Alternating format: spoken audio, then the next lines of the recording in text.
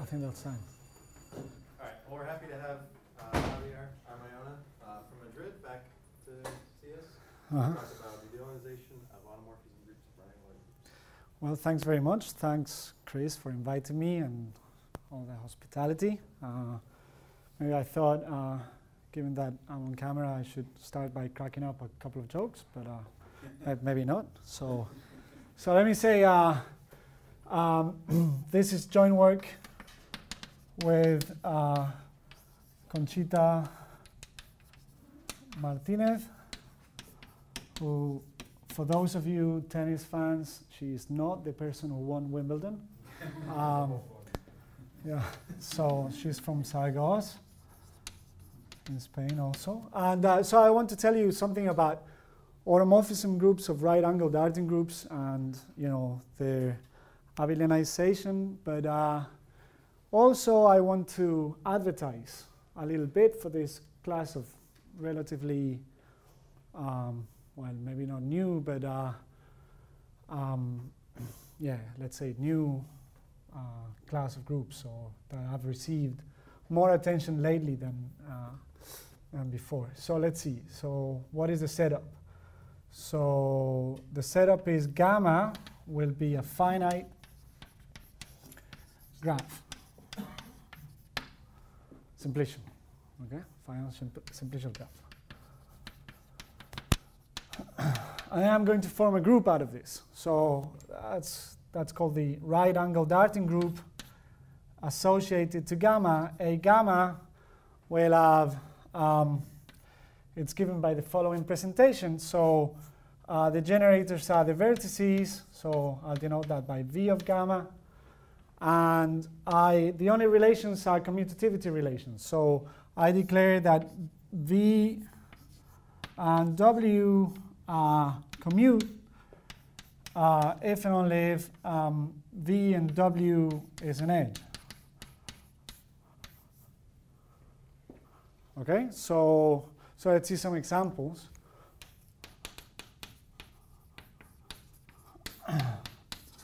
So that motivate, actually it's the examples that motivate why um, studying these well, groups is, well, gives a lot of motivation for why one should study this class of groups.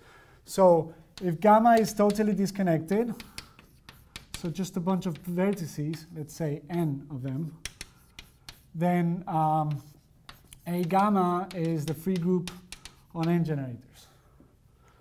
And um, if gamma is a complete graph so on n vertices, um, complete means every vertex is joined to any other, then it's adjacent to any other, then A gamma is z to the n. So these groups, in some sense, interpolate between the two, the two extreme cases of the free group and the free abelian group. Um, let's say um, let's give a, a, less trivial example. A, B, C, D. Uh, this is gamma. Um, so what is this? This is, here's a free group. Here's another one, and they both commute.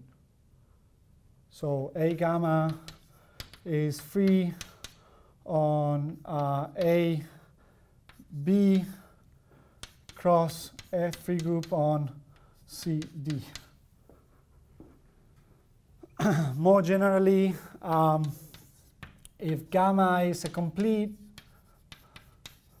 bipartite graph, meaning that they're black and white vertices and every black is joined to every white and no blacks and no whites are joined, uh, then uh, A gamma is uh, free white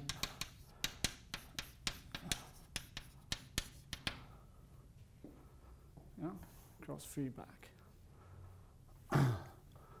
okay, so yeah, so so let's look at automorphisms of this. Um, of right-angled Artin groups. So I look at A aught of A gamma. So again, it interpolates between you know the two extreme cases of Aut(Fn), which is a very interesting class of groups, and then uh, GL and Z, so yeah, corresponding to these two cases respectively. And you know, given that this group here is a cousin of the mapping class group, then you know this has a lot of analogies with a lot of groups that we care about. So the problem is that you know talking about this group like that, uh, it's not very. I mean, let's let's try to get some understanding of what this group looks like apart from a. So let's look at some examples of automorphisms, uh, types. There's an obvious type. So, so these are called graphic automorphisms um, of autos. Graphic means that, means that every symmetry of the graph will induce a automorphism of the group.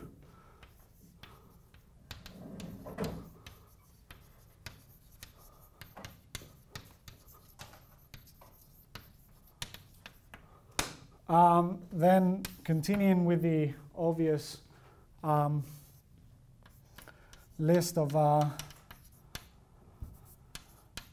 automorphisms, there's, we can also invert a vertex. So this is given V a vertex, uh, IV is the vertex that is the automorphism that sends V to V minus 1 and fixes uh, everything else.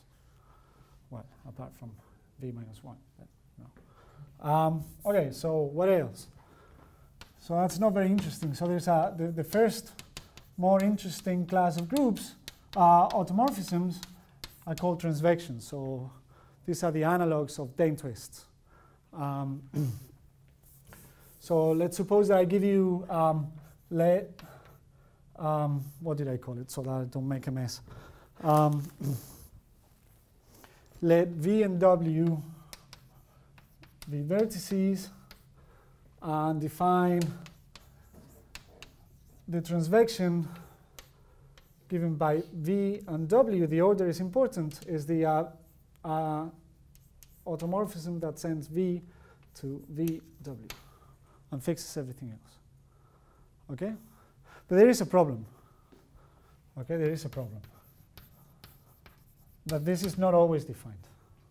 Okay, this auto not always an automorphism, right? I Yeah, mean, it's well, so given that, yeah, it's not always an automorphism. So what is the problem here? Let's suppose, uh, so this is, uh, yeah, okay, as Ilya says, not always an auto.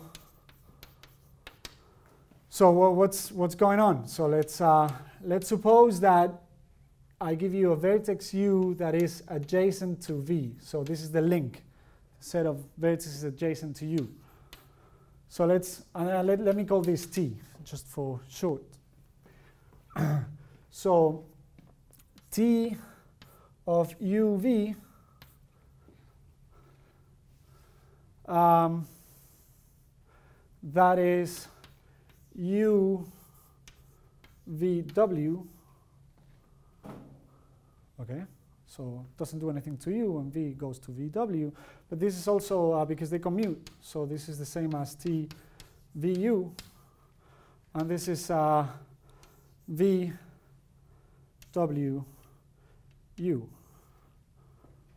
And this commuted. So this is the same as VUW. Okay? I love algebra. Uh, so this and that have to be the same, which means that u and w have to commute. So we need that u is adjacent to w, maybe equal to w. So let's say u is in the star of w. This is the link union. So the star is w union the link.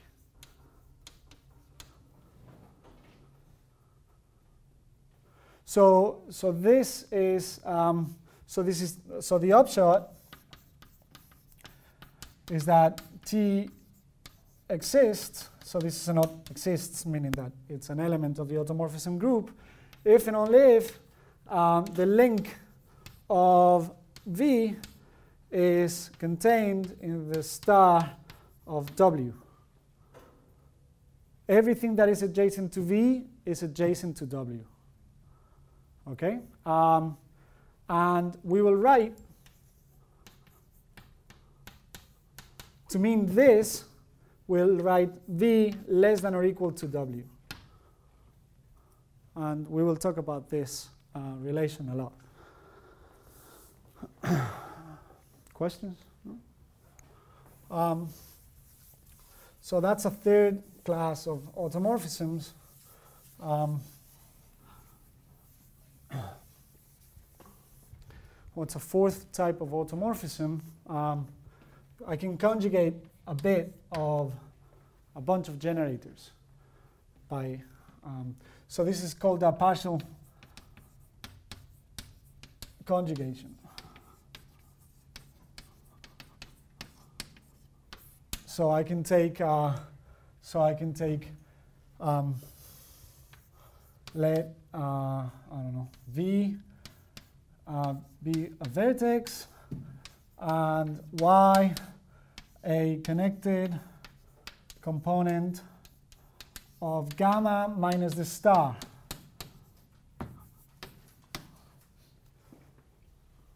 Okay, so what do you call it? V. So I take the star, remove it, I take a connected component, and I'm going to conjugate all the elements of Y by V. So the partial conjugation given by V conjugating the connected component Y, you need to, you need to conjugate the full connected component for a similar reason to that. Okay, so otherwise it won't be an automorphism. So you need, yeah. Um, this conjugates W to V minus 1 um, uh, um, if um, W belongs to Y and fixes everything else. Okay? So why am I giving so many examples of uh, automorphisms? Well, because I've given you, I've just given you a generating set for alt A gamma. Okay, so alt A gamma, so this is a theorem of um, or Laurence, I don't know, in 95, and Servatius, Servatius, I don't know, 89. Uh, so he proved it in uh, some cases, and then he proved it in full generality, that alt A gamma is generated by these four types of automorphisms. okay? And in fact, not only that, but uh, so these groups are finitely presented and a presentation is known, and this is a, a very nice result of, well, Matt Day, it's Matt Day's thesis. Um, uh, so maybe a gamma finitely presented. But I mean, that's not the theorem. The theorem is that he gives a presentation. Okay?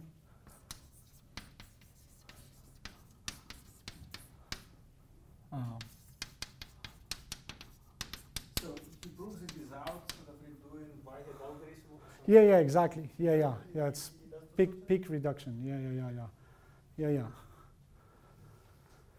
Exactly. okay.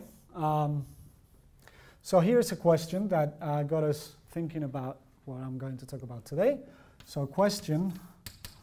Um, um, I give you a finite index subgroup of alt A gamma. Does it have finite abelianization? Um,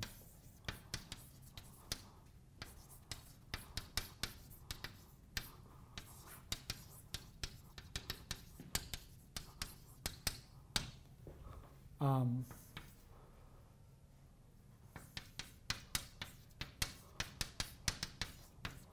I mean, I, I, don't know. That's a compact way. I mean, um,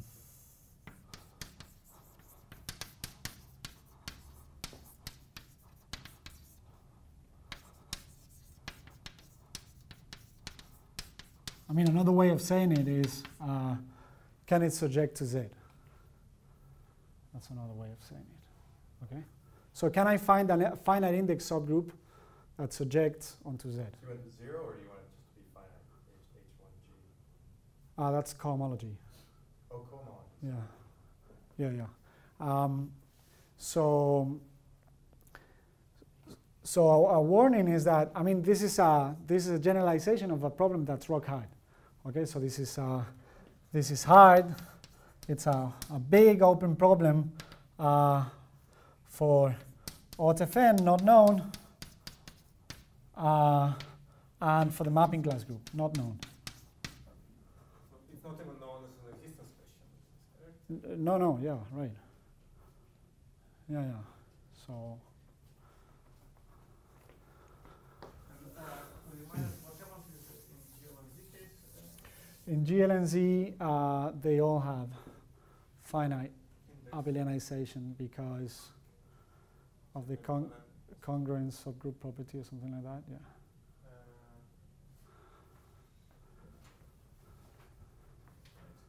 uh, I think so. Yeah.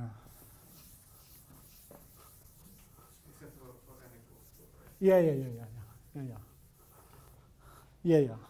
I think actually for for n equals three, something is known. I don't know what is known, but yeah, something is known. Um, so the upshot is that sometimes not. Oh, ju- just a second. Yeah.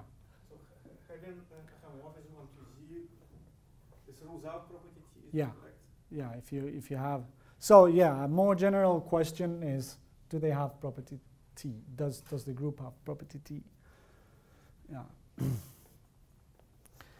yeah. So if if you have property T then you have finite abelianization. So yeah. Very good. Um, so the upshot again is that sometimes not. There are examples of graphs for which you can find explicit finite index subgroups that surject onto Z. And in some of the cases, for some classes of finite index subgroups, this is true. So this is what I'm going to talk about now. I'm going to give some conditions on the graph that ensure that either a certain class of finite index subgroups has this property, and I'm going to say something about what happens when it doesn't have those properties. So I'm going to find, we're going to find examples of graphs for which uh, this is not true. So, so results, okay? So recall, oh, recall that uh, V less than or equal to W means that everything that is adjacent to V is also adjacent to W and and write. Uh, do I need this now? Ah, yeah, I do. I write uh, write U equivalent to V to mean that U is less than or equal to V, and V less than or equal to U. Okay, so let's see an example of that. Um, uh, so example. Um, okay, kind of easy example. So if gamma is totally disconnected, so no edges, or uh, complete, so meaning every possible edge is there, then uh, u then u uh, equivalent to v for all uv. Okay, so let's see something less obvious. So let's so this is v uh, 4, this is v1, v2, v3. So v1, Just, okay, uh, Is it because, oh, so, in the disconnected case, totally disconnected case, the links are empty. Yeah. That's right. so v4 is less than everything else Okay. because everything that is adjacent to v4 is also adjacent to the rest. Yeah, uh, and then v1 is less than or equal to v3 because everything that is adjacent to v1 is also adjacent to v3. And by symmetry, uh, we get that V1 is less than, uh, is equivalent to V3. Okay? So, I mean, the conditions are going to be phrased in terms of these relations. That's why I'm talking about them. Um, okay, so, so I'm going to give you the A condition that ensures that many finite index subgroups of the group um, have finite abelianization. So this is called property B, and B is for big, big equivalence classes. So definition, property B, it's a condition on the graph. So say gamma has B if the two following things happen. One, whenever, so um, whenever I see two vertices that are not adjacent,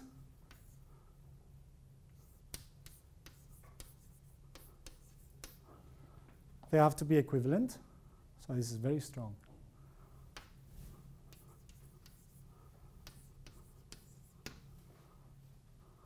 Okay, that's very strong.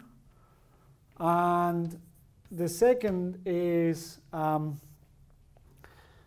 um, for all v this different from w uh, with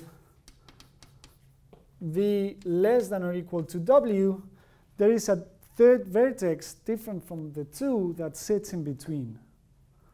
Um,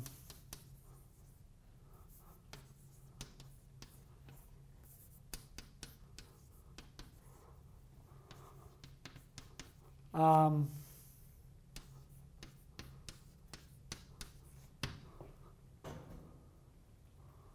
okay.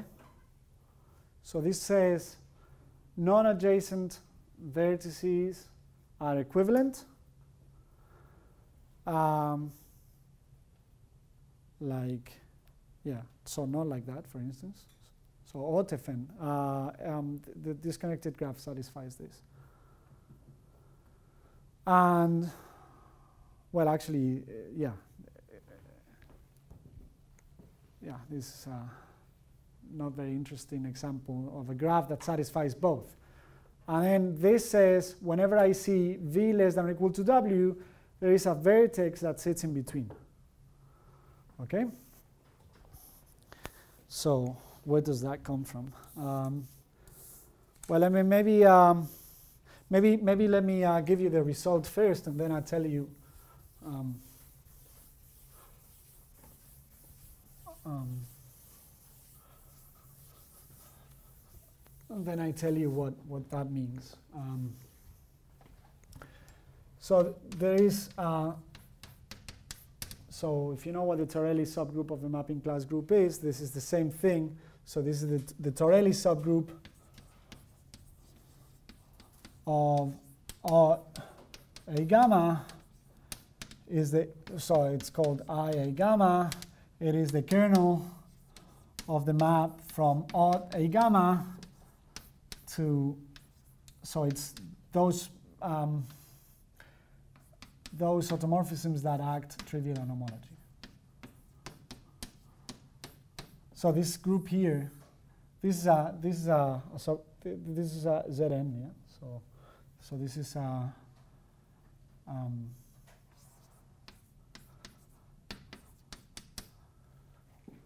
yeah. So the result says whenever you see, uh, whenever gamma satisfies that property there, for every finite index subgroup that contains the Torelli group, uh, you have finite abelianization. Um, So this is um, uh, Conchita. Yeah. Um, so suppose um, gamma has property B and um, G be a finite index subgroup containing uh, the Torelli subgroup.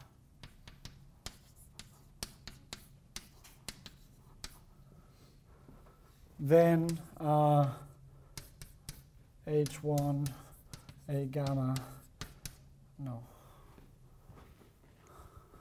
Okay.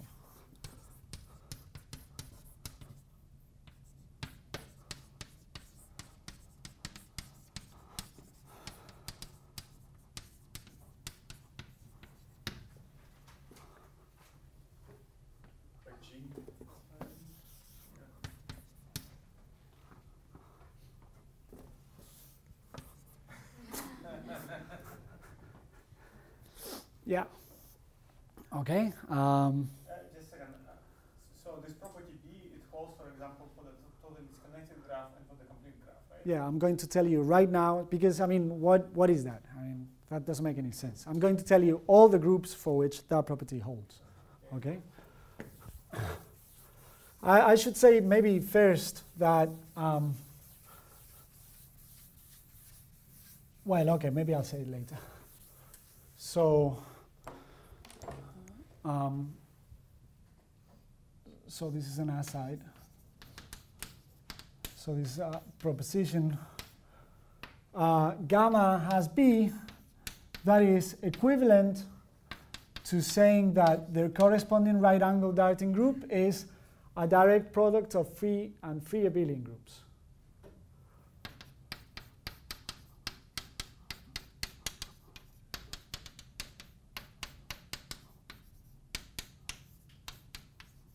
But not any uh, ni not equal to 2 uh, bigger than uh,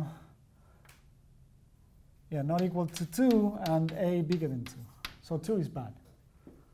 Okay? So i'd like to prove this uh, because i mean it's it's a nice exercise on what these things mean. I mean you, you, you can you can see where the decomposition comes from okay so proof so let me write um, for V, uh, this means the, uh, the equivalence class of the vertex V with respect to this relation, uh, which is clearly an equivalence relation. Uh, um, twiddle.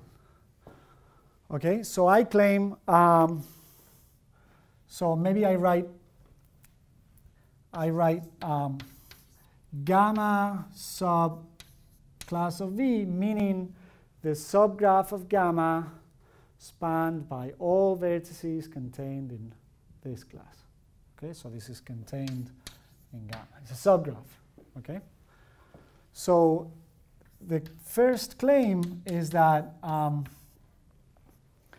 um, this doesn't use anything about V, uh, B or anything.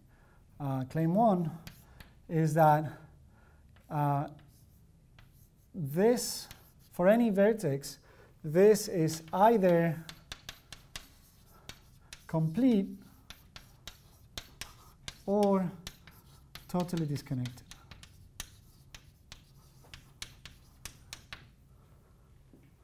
Okay, so why is that? So this is this uh, what time is it? Oh dear. Um, okay, so this is these here. They're all equivalent inside this blob. So let's suppose I give you three vertices.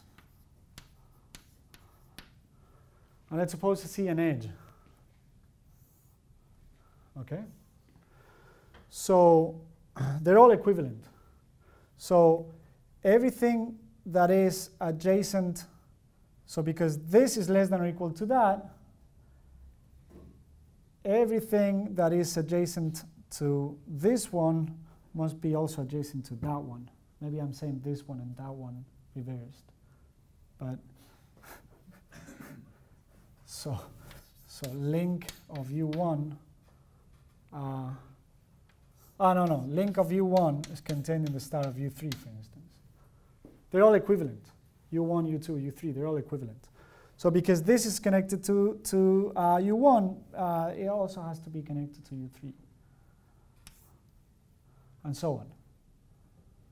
Okay, so whenever you see an edge, you have to see every edge. Okay? Is this clear enough? Yeah? so this, this is what tells you, these are the factors. The factors are, so these, these guys are the sizes of the equivalence classes with respect to twiddle. Okay? Um,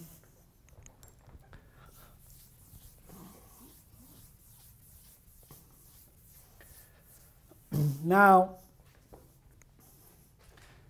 um, now claim two um, is that if um, V is not, so if you have two different equivalence classes, then um, every vertex of gamma sub class of V is adjacent to every vertex of, uh, so it's bipartite. I don't know how to, what the name of this is. But, uh, uh, gamma W. Okay. Why is this?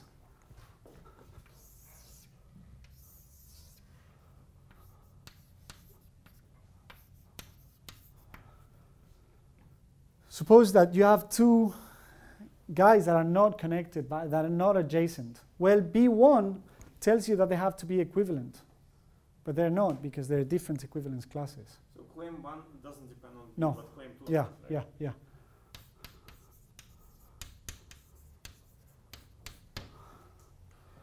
Yeah, so it's, it's just saying that um, there are different equivalence classes in applying this. Um, so that tells you that this, that th- this decomposition is a direct product. Everything in one class commutes with everything in a different class. Okay? And then, um, and then, uh, so finally, um, and this, I'm not going to say it, I mean, it's just, uh, um, uh, a, a, you know, you, you have to convince yourself. Uh, B2 says that um, ni is not equal to 2 and a is bigger than 2. And why is that? Because this is a condition on three vertices. And this, so if these two guys lie in a, in a factor, uh, then the third guy have to, has to live in the same factor. So, okay, so in, in any case, this is what is, you know, this just, uh, yeah. So, so that finishes the proof. And I should say that uh, this theorem was known, um, so remark, uh, theorem 1 known, or the analog known for, uh, so first of all, the mapping class group. So the mapping class group you just translate in a, every finite index subgroup of the mapping class group that contains the Torelli subgroup has finite abelianization. It's quite easy in this case. Um, so this was known by uh, McCarthy. So it's just that you subject onto GL and Z. And for odd Fn by uh, Bogopolski and Vikentiev.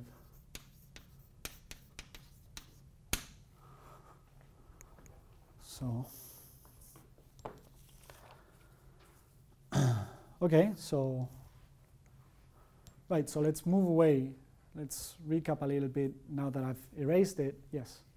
Sorry, can you say once more just before you move on, this, these N1s to Nks, they're the size of the equivalence classes. Mm. What's, what was the A? Uh, also, I mean, so this this gives you uh, this this gives you that every equivalence class or the right angle Artin group is either a free group or a free abelian group. No, no, no. Uh, I mean, I think what you wrote there is maybe slightly incorrect. Ah. Oh, no, no, no, just a second. Yes, sorry, no, this is right. I mean, if you have several abelian factors, they can be obtained. Yeah, yeah. If you have uh, several abelian factors, then uh, you just group them together. Uh, so okay, you're right. I mean, yeah. So No, I think it's correct. Yeah, yeah, yeah, yeah. It's the sizes of the equivalence classes. Um, for all, for all of them. Uh, where am I? Yeah. So theorem one, which I conveniently erased, says that if you have a property that it's actually two properties, then uh, uh, you have finite abelianization. So yeah, yeah, yeah, yeah, yeah. As long as you, yeah, that's a that's a very big, that's a very restrictive condition. Yeah, containing the Torelli subgroup is huge. Yeah.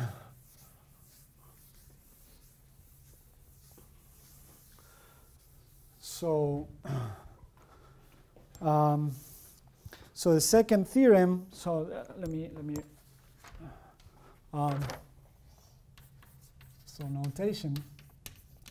So now I'm going to show a finite, an explicit finite index subgroup that surjects onto Z, as long as you don't have that property there.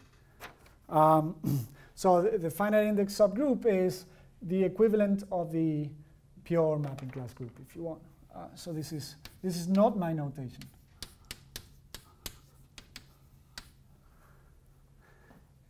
Catchy. Uh, so you remember that A gamma was generated by uh, graphic automorphisms, inver inversions, uh, partial conjugations, and transvections. So this is just uh, the subgroup generated by the infinite order generators.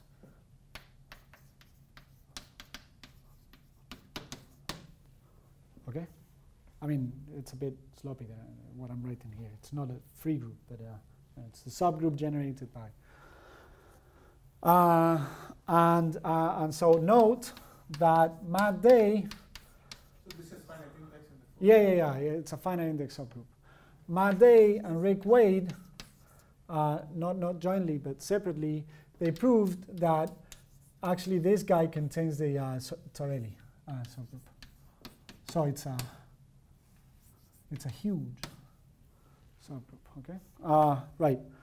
So, so the second theorem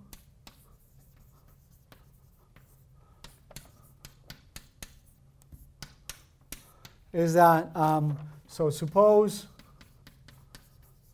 um, so you remember there was b1 and b2 b2 said for every uh, v less than or equal to w there is a vertex that sits in between so suppose that gamma doesn't have that property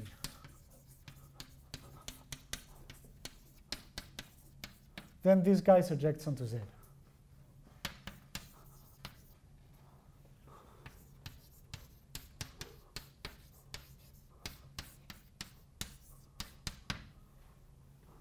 and doesn't have so Orte gamma doesn't have property T in that case. Uh, whatever property T might be, but uh, actually uh, it's what we prove is a little uh, stronger. Uh, so we prove that not B2 is the same as the matrix group or a gamma quotiented by the Torelli subgroup. Um, so this lives inside GLN. Yeah? Uh, uh, does not have Kazhdan property T. Okay. So that's a bit, but yeah. Okay. The second line, I mean, this follows from the existence of the compound element we see, right? Uh, yeah, yeah, but uh, there's this, yeah? Oh, it's if and yeah, yeah. Um, right. So, so before I carry on, um,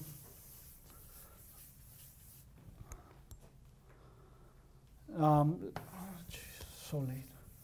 Um, let me let me point out very quickly and very informally some uh, differences between right-angled Artin groups automorphism groups of right angled Artin groups and say mapping class groups or aught fn. Okay, so Bridson okay, I'll just say it, I, I won't write anything. Bridson proved that whenever odd Fn acts on a CAT(0) space, so that is a non-positively curved space, then every transvection, so you can define transvections there also, every transvection fixes a point. Okay, so Aut(Fn), whenever it acts nicely on a CAT(0) space, then uh, transvections must fix a point. Well, for general odd A gamma, this is not true. I mean, you can you can map.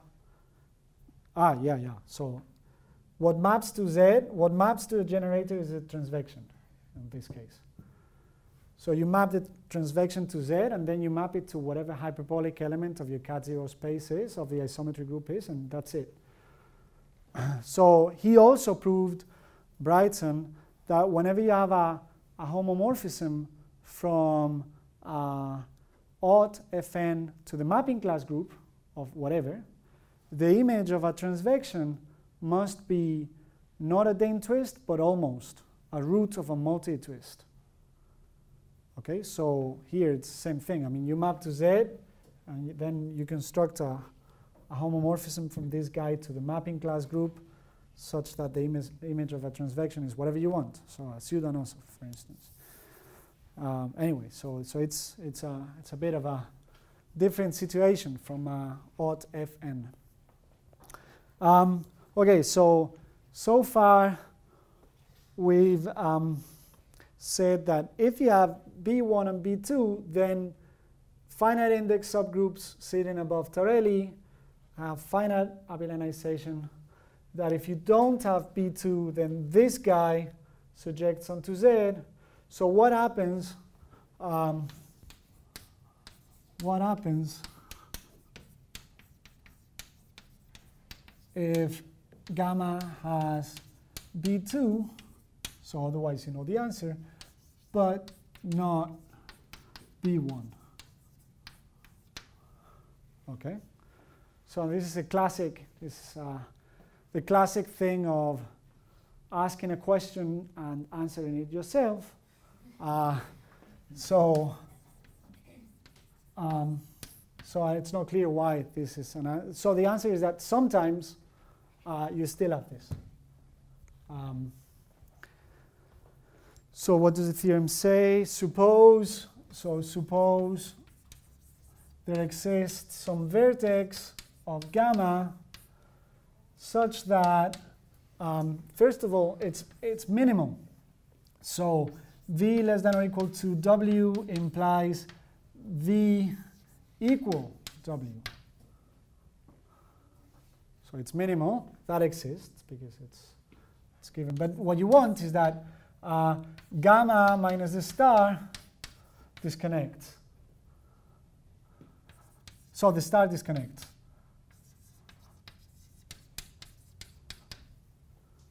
Okay? Then not this guy, but actually something slightly bigger, uh, odd 0 a gamma. So this is the same, uh, this is uh, uh, transvections, partial conjugations, and also inversions uh, subjects onto Z. Okay, so what do I say? Why do I say? Um, ah, actually, um, in this particular case, you can replace A by O, which you, can't always do. Um, so this, valid, this is valid for odd. So this is the quotient by the automorphism group in this particular case. Um, so why do I say, um, so let me give you an example.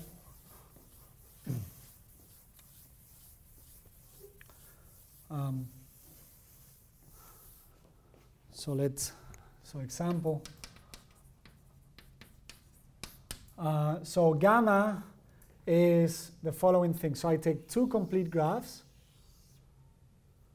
So this is complete.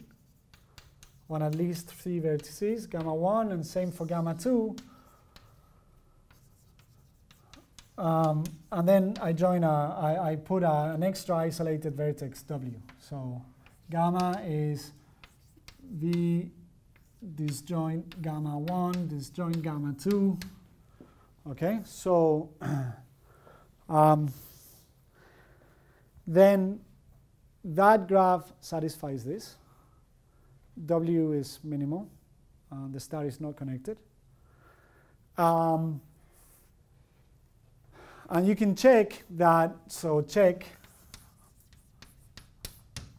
um, that satisfies B2. Um, so that means this is the condition of a vertex sitting in between, but not B1. B1 said that uh, non-adjacent vertices were equivalent. Well, non-adjacent vertices are not equivalent. Yeah, because there are things that are adjacent to this guy that are not adjacent to that guy. So, okay, uh, and satisfies theorem, the hypothesis of theorem three. Okay. Um, so four minutes, yeah. Um, yeah. Okay. So let me um, let me say some things about how to prove this. Uh, something meaning two. Um, so proof of theorem one. Um,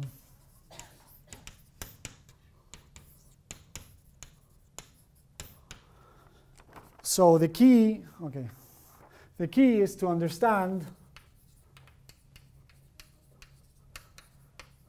uh, the M, M level Torelli group. So this is the kernel uh, SIA gamma M, again, very catchy uh, notation, uh, um, which is the kernel of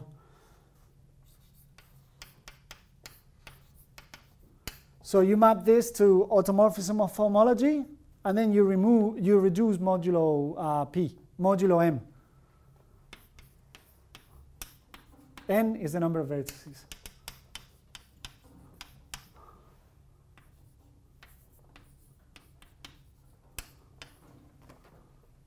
Okay. So finite index, uh, nice. Um, so fact one, so this modern, I mean, you have to prove it. It's a proposition or whatever. Um, well, of course, this guy um, is normally generated, so it contains the Torelli subgroup. Uh,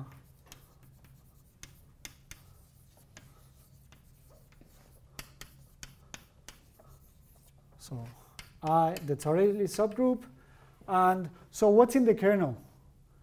You take a transvection, that'll map a transvection to, GL, uh, uh, to a transvection in GLM, and what will be in the kernel? An M power of that transvection. So that's a normal generating set.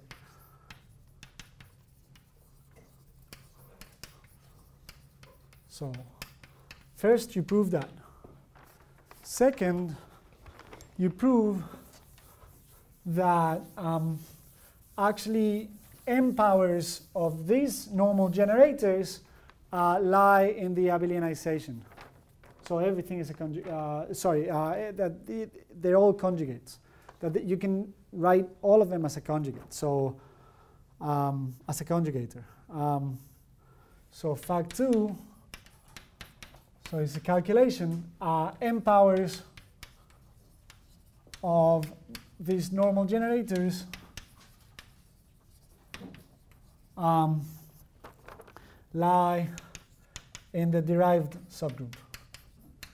So everything is a conjugator. Okay? So what does this say? This says that the abelianization of this guy So it, the group modulo the derived subgroup is a finite group. Yeah? Actually, it's a finite M group.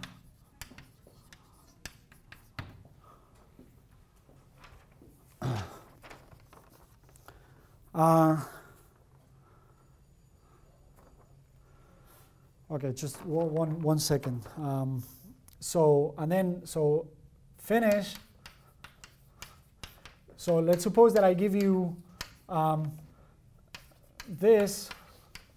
This is finite index. Um, so, so let's suppose the index is m. Um, so that says that for all automorphisms, alpha to the m belongs to G. Yeah? So in particular, um, a gamma of m, so if you ju- just look at what, what is the normal generators, this is contained in G. This is a subgroup of G. And so the abelianization is, is contained, and that says that G prime has finite index in G. In other words, the abelianization is finite. And then for the other subgroups, you, I mean, it boils down to understanding. Uh, so for this subgroup here, it boils down to understanding what the image of this subgroup um, in GLN looks like. And then, you know, you work a little bit and, yeah. But I don't have time, so thank you very much.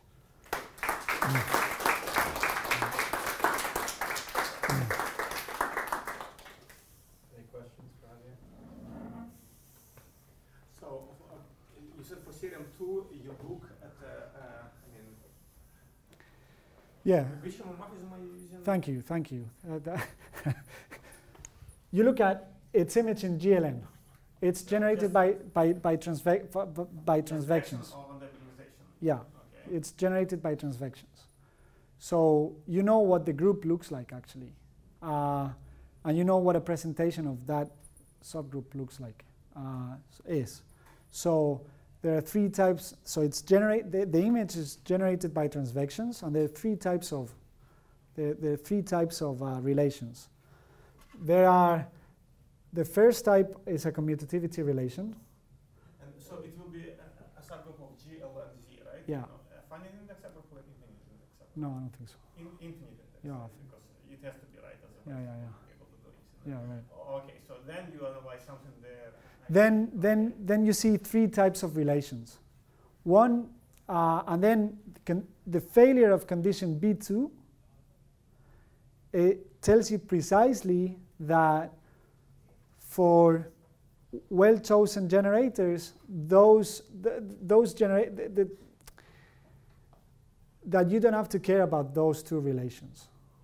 Okay, so there is a, that there is a transvection, so let me put it that way this is the upshot that there is a transvection whose image in GLN in that presentation whenever it appears uh, in some relator it appears with exponent sum equal to zero.